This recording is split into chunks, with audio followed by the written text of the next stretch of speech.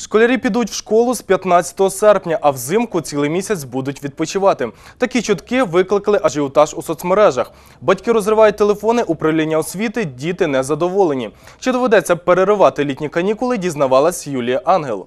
Канікули скінчились 15 серпня. Усім до школи. Така чутка активно поширюється інтернетом, не лише в нашій області. Батьки на форумах активно її обговорюють. Мовляв, таким чином держава хоче зекономити на опаленні і зробити довшими зимові канікули. Не усі батьки вірять такій інформації. Школярі обурені, але знайшлись і такі, хто зимою в школі мерзне і не проти навчатися влітку. Я ставлюсь позитивно, тому що зимою взагалі якби, дуже холодно в школах та інших навчальних закладах, і діти, ну, дітям дійсно важко вчитись, тому я вважаю, що це правильний вибір. Лето в школу. Пусть правительство думает, как отопить школу, а не родители. Вот я, не- я считаю это неправильно. Я би обідався. Дуже хочу вчити, працювати.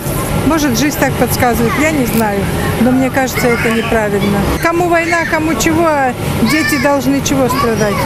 Діти цьогоріч в школу підуть таки 1 вересня, обіцяють в обласному управлінні освіти. На даний час, 1 вересня, в Хмельницькій області рекомендуємо розпочати навчальний процес.